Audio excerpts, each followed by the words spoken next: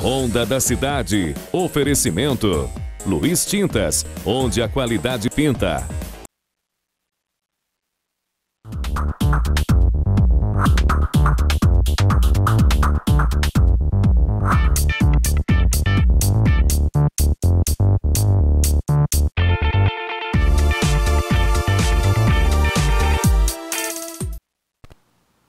Olá, tudo bem? Rede Sim de Televisão está no ar com o programa Ronda da Cidade. Jornalismo pede passagem. E aí aquela pergunta básica logo de começo de programa. Como o nosso jornalismo pode te servir? Fique conosco e aproveite, o Ronda começou. Hoje nós vamos falar sobre mapa de risco do governo do estado. A gente vai falar aqui sobre o mapa de risco, não é? Agora vamos falar de festa clandestina também. Tem muita gente no estado que ainda não entendeu a pandemia do coronavírus. E é verdade. Uh, deixa eu pedir para minha produção um flagrante que deu até prisão em Rio Bananal. Gente, tudo bem? Coloca no ar para mim aí. Vídeos da polícia. Teve prisão de pessoas que estavam participando de uma festa clandestina em Rio Bananal nesse final de semana. Muita gente acredita que não dá nada. Se a polícia pegar, o máximo que vão poder fazer é vão para casa, menino. Nada disso. Olha o pancadão rolando aí, ó. Isso foi em Rio Bananal. Eu não vou queimar o sítio, porque não, é isso que nós viemos ver aqui, mas foi num sítio do interior de Rio Bananal. E olha só, dá só uma olhada nessa filinha indiana de pessoas que estavam numa festa clandestina. Um dia depois, eu acho que foram 24 horas depois que o governo do estado divulgou o novo mapa de risco. Daqui a pouco a gente vai falar sobre Rio Bananal e o mapa de risco. Mas em qualquer hipótese, não está liberada nenhuma aglomeração. Repito, isso aconteceu no interior de Rio Bananal. Todos foram parar na delegacia. Olha a polícia no fundo lá. Congela essa imagem aí para mim. Olha a polícia no fundo lá, ó, catando o restante que ficou. Lá no fundão, ó. É isso que acontece, não é a primeira vez. Força tática, polícia civil e tudo o que nós estamos mostrando aí é fruto de quê? De denúncia da população, que anda preocupada com o avanço do coronavírus. Hoje nós vamos falar sobre isso. Mas também vamos falar da violência no bairro Shell. Gente, o que acontece nos becos 10 e 12 do bairro Shell? Mais um homicídio registrado. Nós temos imagens aí? A vítima é essa aqui que nós vamos mostrar a imagem dela. Acabou morrendo. Esse é o local, bairro Shell, pó do Shell, para quem não conhece a cidade de Linhares, para quem está me vendo na Grande Vitória, no sul do estado, mais ao norte, São Mateus e Conceição da Barra, este é o pó do Shell. Aí aconteceu um homicídio no dia 15, no dia 15 deste mês. De lá para cá, investigações. Deu que no final de semana mais um caso foi registrado, violência à bala nessa localidade. O que acontece aí, a polícia agora precisa explicar depois de mais um homicídio. Nós já temos a identificação da vítima e as investigações seguem. O delegado de crimes contra a vida vai falar conosco. Daqui a pouco ele vai falar conosco. O que está acontecendo nesse pó do Shell, que nos últimos 30 dias a violência estourou nessa região. Ainda falo sobre a campanha da gripe, uma campanha muito importante. A vacinação ainda acontece. Mais de 12 mil pessoas vacinadas no município de Linhares. É assim que começamos o programa de hoje. No rádio ou na TV, a notícia chega até você.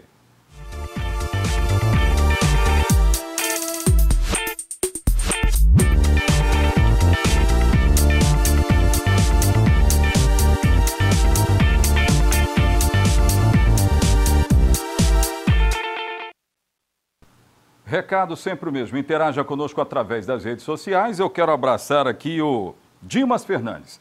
Dimas Fernandes, ele é do bairro de Fátima, na Serra, e está nos acompanhando. Dimas, sinta-se abraçado por este apresentador e por toda a rede Sim de televisão. Tá legal? Tem uma demanda aqui do Dimas, ô produção, que nós vamos responder para ele amanhã, não é? É sobre o DPVAT. Dimas, nós vamos responder a sua questão aqui amanhã. Fique conosco, tá legal? Valeu, muito obrigado. Nosso canal no YouTube, estamos com transmissão ao vivo no nosso canal no YouTube. Olha aqui aparecendo na sua tela, Ronda na Rede. Vai para lá, aproveite. Temos a nossa página no Facebook, nós temos o nosso Instagram e o telefone de WhatsApp, que hoje é um dos mais acionados do norte do estado do Espírito Santo. Vai ser um dos mais acionados do estado, eu não tenho dúvida disso. 99622 4547. Interaja conosco. Coloca de novo a imagem do baile clandestino que estava acontecendo numa propriedade de Rio Bananal. Acreditavam que a polícia não fosse chegar, olha isso aí, o pancadão comendo solto. Mas o que deu de gente presa foi parar na 16ª Delegacia Regional. Foi uma festa, né? Foi um negócio. O organizador da festa foi preso também. Contra ele não pesou apenas o crime de ter organizado essa festa, não. Tem um outro crime que pesou contra ele, não é? Pode voltar aqui para mim. O próprio delegado do caso falou conosco hoje de manhã. Vamos ver. Era mais uma festa escondida em meio à pandemia do coronavírus em Rio Bananal, norte do Espírito Santo.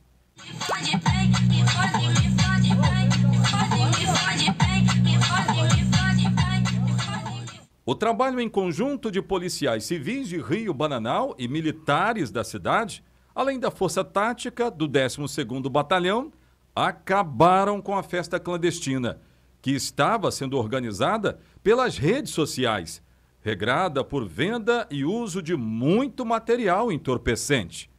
Bom, a gente, o policial, os policiais de Rio Bananal estavam monitorando esse grupo de rede social que estavam programando essa festa. Não se sabia o endereço ainda porque era uma festa clandestina e ele ia passar o endereço no último momento.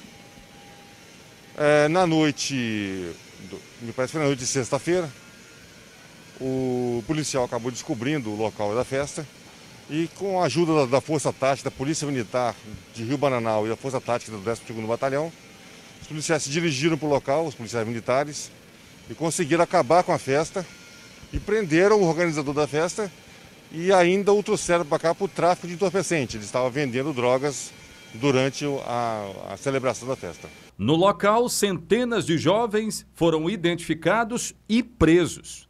Eles vão responder pelo crime previsto no artigo 268. Infringir determinação do poder público destinada a impedir introdução ou propagação de doença contagiosa. Muitas fugiram no momento que a PM chegou, que a Polícia Militar chegou. É, dezenas foram cadastradas e vão ser todas indiciadas pelo crime do artigo 268, que prevê uma pena de três meses a um ano por conta de desobedecer determinações em época de pandemia. O organizador da festa clandestina é Pedro Henrique Rigo Pianzola, de 19 anos. Foi preso também por tráfico de entorpecentes após ser interrogado no plantão da 16ª Regional, foi levado ao presídio. Está à disposição da Justiça. As diligências do inquérito policial ainda vão ser concluídas. Foram encontrados material entorpecente, é, carro de som, é, bebidas e vários, é, 30 adolescentes foram cadastrados. De acordo com a polícia, Pedro Henrique foi preso no ano passado pelo furto de cerca de 190 mil reais de uma loja de peças onde trabalhava, em Rio Bananal. Não apenas esse caso colocou a cidade ribanense nas notícias policiais. No sábado que passou, a polícia prendeu Wildes Santos Almeida, de 31 anos, que é conhecido na região pelo apelido de Nego Wildes ele é acusado de ter cometido tentativa de homicídio em novembro passado, no bairro Santo Antônio, atropelando de propósito sua vítima, que teve graves lesões. Preso, ele confessou o crime. Disse que havia desavença entre ele e a vítima. Crime. Crime, gente. Pelo amor de Deus. Não tem cabimento isso. Olha, pelos meus, os meus números aqui, pelas minhas anotações, é o segundo caso de festa clandestina que acaba com polícia, deu cadeia. Em Rio Bananal foi a primeira. Mas o grande detalhe é que as pessoas, a gente percebe aqui que não, tem gente que não entendeu a pandemia. Só pode que não entendeu.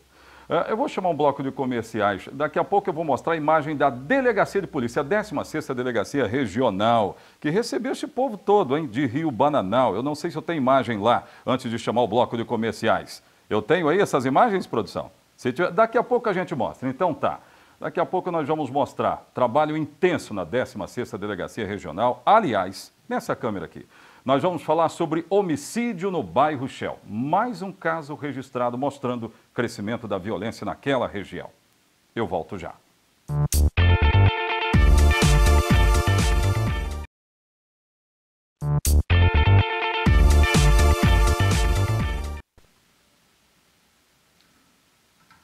Olha aqui, nós vamos fazer agora uma espécie de alô doutor. O que, que o doutor Fernando Pandolfi tem a nos dizer com relação a coronavírus e o pós-Covid? Eu já falei sobre isso aqui, pós-Covid é meio complicado, né? O colega meu disse que está ainda com dificuldade de respirar, é, já tendo o quê? Uns seis meses né, que pegou o coronavírus. Doutor Fernando Pandolfi, tudo bem? Nos ajude a entender isso. E esse pós-Covid, hein? Bem-vindo. Pois é. Obrigado, Zé. Bom dia, bom dia a todos. Vamos aproveitar aqui, ó, abriu aqui o mapa de risco. Esse aqui é o último mapa de risco do governo do Estado, do Espírito Santo. Ó, interessa a todo o Estado, viu, gente? Você que está de canto a canto do Espírito Santo, veja. Risco extremo não tem ninguém, mas risco alto tem 24. Olha o mapinha de Linhares aí, ó. Olha o mapinha de Linhares. Estamos no risco alto, são 24 municípios. No risco moderado, 46. Risco baixo tem oito municípios. Esses aí estão muito bem, obrigado. É, então vamos voltar aqui. E nessa história toda, muitas pessoas acabaram pegando o Covid. Doutor, que tipo de recomendações para quem pegou o coronavírus agora está se tratando, o pós-Covid? É, eu, tô, eu como exemplo, eu peguei. Ah, tu pegou, né? Peguei o ano passado, né? Exemplo eu, vivíssimo. É, é, é, na verdade, os sintomas meus foram leves, né? Uhum. Cefaleia, uma cefaleia que perturba, né? Uma mialgia, dor muscular. E eu não tive sintoma respiratório, não. Mas o que é muito importante colocar aqui, que a gente podia separar. Aqueles que foram, precisaram ir para UTI, ficar internado em UTI, e às vezes até entubados, e conseguiram sair dessa doença, eles terão um pós-Covid que tem que ter um apoio muito grande, tanto dos colegas clínicos quanto dos fisioterapeutas. Porque eles desenvolvem uma atrofia muscular muito grande, uma fraqueza muscular grande. Pode vir acompanhado de alterações intestinais, alterações mesmo, cefaleia, é, infecções, as infecções urinárias e tudo. Porque o foco, o que leva à morte, são os problemas lá no pulmão. Porque o, o vírus, na hora que desenvolve a, a, a tempestade inflamatória, ele vai lesar o alvéolo, que é o principal lugar onde troca o nosso oxigênio pelo CO2. Essa área que é a mais difícil. Então, o problema pós-Covid respiratório é o que mais preocupa. Ah, eu não posso fazer um esforço que eu canso. Eu não posso andar mais tanto que eu canso. Tem que ter muita paciência, muito exercício, apoio, principalmente para os profissionais da área respiratória, os fisioterapeutas, muito cuidado com isso, né? Vai devagar, vai recuperando lentamente. Os sintomas mais simples de anosmia, de falta de paladar, falta de é, do apetite, esses vão desaparecendo lentamente, mesmo que demore um pouco. Mas os, as lesões levadas pela, pelo período longo de UTI, principalmente as atrofias musculares, que você precisa recuperar, é devagar. Aí tem que o, procurar um profissional. Aí né? até a recuperação respiratória, porque os músculos respiratórios também ficam muito fraquinhos. Então, isso que, que a gente vê com mais cuidado. E olha, é muito importante, a gente está vendo pacientes desenvolver trombose, tromboembolismo e às vezes até AVC pós-Covid. Então é muito importante fazer uso, às vezes, muitos colegas já estão fazendo, uso de um, de, de um anticoagulante ou um antiagregante, mesmo no pós-Covid, mesmo no pós-Covid sem complicações. Porque às vezes você previne, né? Uma pessoa que já está em casa, de repente tem uma morte súbita. E você vai ver a causa principal pode ser um tromboembolismo, pode ser alguma coisa desse tipo. Então, muito cuidado com isso. Os sintomas leves, paciência, que eles vão acabando. E nunca esquecer, ó, calma, muito líquido, comer bem, descansar bem, tomar sol, um solzinho tudo isso todo ajuda. dia, tudo isso, vitamina D, Doutor, tudo isso ajuda. muito obrigado. Eu peguei a laço, viu? O doutor Fernando estava aqui para outra coisa. Por acaso. Né? Nós temos uma outra entrevista na Rádio 506.1, mas ele se dispôs a nos ajudar. Obrigado. Muito obrigado por ter vindo. Okay. Gente, vamos aproveitar o doutor Fernando aqui. Coloca aí Rede Descontão para mim. Rede Descontão tem ofertas. Aliás, você que está precisando dar um up na sua saúde, aproveite então, aproveite. Aproveite essas ofertas então. É, Respiron, 40 reais a unidade. Tem mais aqui, gente? Tem mais? Coloca aí para mim. Uh, o Tiras Check Active, 75 reais a unidade. E a última é essa aqui que eu vou mostrar também. Vamos lá?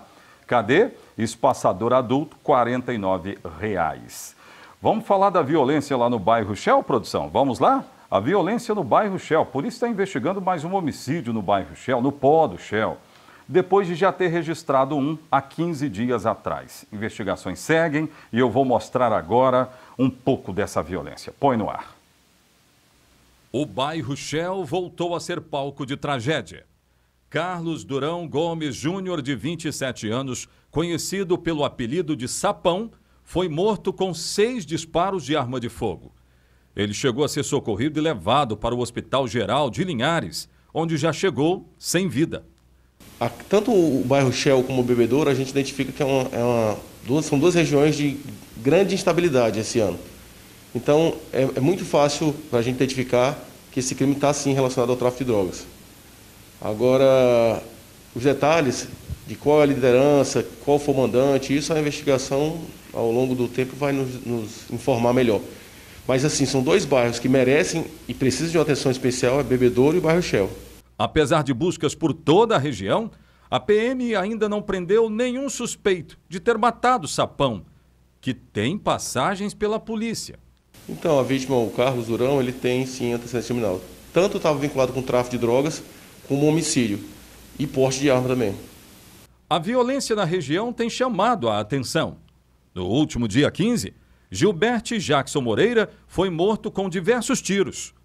Muros foram pinchados depois da tragédia, revelando que Gilberte pode ter sido morto por engano. A gente acha que tudo isso faz parte desse confronto territorial. Embora a polícia tenha algumas atuações, mas não dá para prever nesse jogo, quando a gente prende alguém, se vai acalmar ou se vai criar uma nova situação de instabilidade. Mas a gente não vai deixar de realizar o nosso trabalho. É continuando sempre, sempre, sempre o rumo à pacificação daquelas duas regiões que hoje estão chamando mais atenção da gente, da Polícia Civil e da Polícia Militar. Mas não demorou muito para que as investigações avançassem.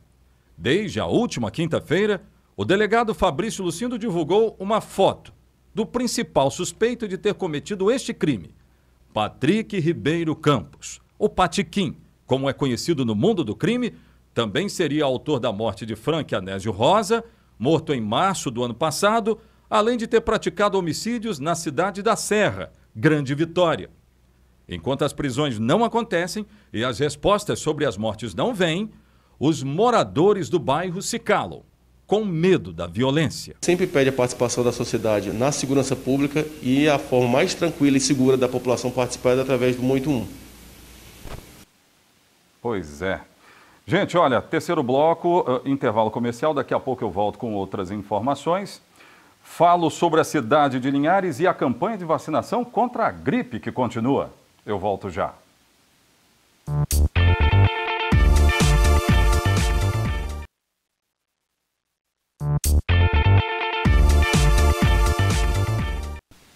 Vou tentar ler rapidinho as mensagens que estão chegando aqui, porque são muitas. Daqui a pouco a produção vai abrir imagens da delegacia 16ª Regional que eu pedi.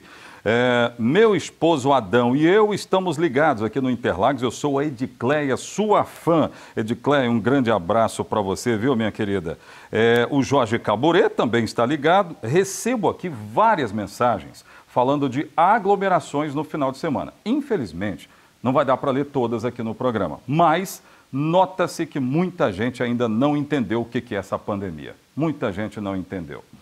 Coloque mais da 16ª Delegacia Regional para mim, gente. É, hoje, a movimentação aí foi para tomar depoimentos. É, estão sendo tocadas as investigações do caso aí do bairro Shell, que eu acabei de mostrar, e seguem, seguem as investigações da aglomeração de Rio Bananal, que deu prisão. Agora há pouco nós mostramos aqui. Tudo isso concentrado na 16ª, são imagens de agora, desconsidere essa informação e essas imagens você que vê o programa sempre às 19 horas e 30 minutos. Mas estamos daqui acompanhando. Aí, ó, é referente a isso aí que nós estamos falando. Muita gente acreditando que não dava nada, que não dá nada, vamos aglomerar, que está tudo certo. Hum, olha o que a polícia fez. Olha o que a polícia fez. Isso aí é Rio Bananal, que sirva de exemplo para outras cidades do estado do Espírito Santo, onde muitos estão se aglomerando. Teve um incêndio numa propriedade próximo da reserva Vale do Rio Doce, em Soretama. Eu quero trazer agora informações. Não foi na Vale, nem. É, é gente, né? não foi. Foi próximo da Vale. Vamos saber. Um incêndio de grandes proporções atingiu as margens da BR-101 no quilômetro 112 em Sooretama e uma propriedade rural que fica próximo à reserva da Vale, na tarde da última sexta-feira. Segundo informações do Corpo de Bombeiros, o chamado foi por volta das 5 e meia da tarde. Os profissionais do Corpo de Bombeiros utilizaram 31 mil litros de água em mais de 12 horas de ação, até que conseguiram controlar as chamas antes que elas chegassem à reserva da Vale. Não houve registro de feridos. As causas do incêndio estão sendo investigadas, mas ao que tudo indica, foi provocado por ação humana.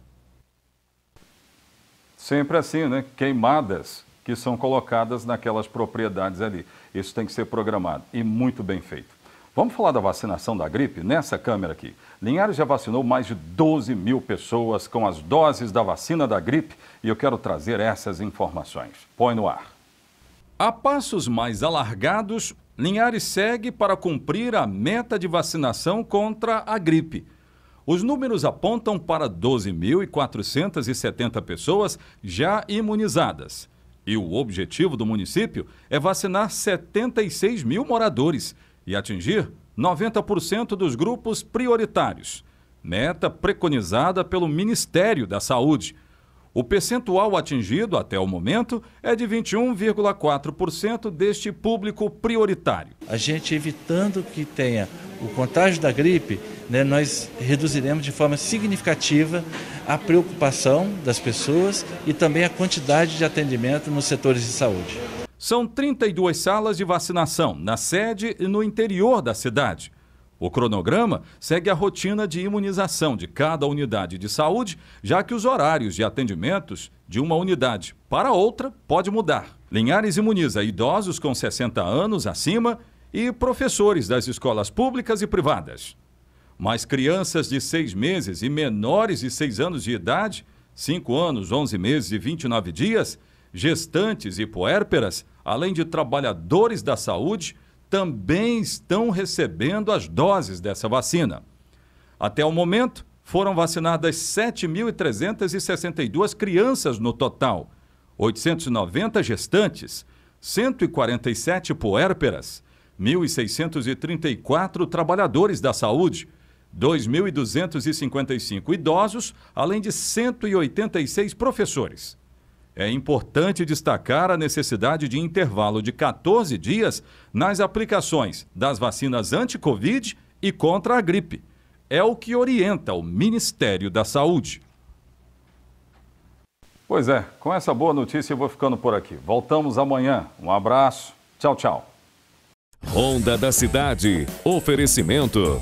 Luiz Tintas, onde a qualidade pinta. O mundo passa por grandes transformações. É preciso evoluir sempre. Nós da Luiz Tintas acompanhamos essas mudanças e evoluímos para fortalecer o nosso elo com você. Atendendo também nossos clientes com ferramentas e EPIs.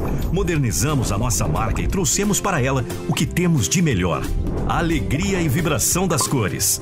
Transformamos o que você sonha em realidade, encanto e bem-estar. Luiz Tintas. Tintas, ferramentas e EPIs.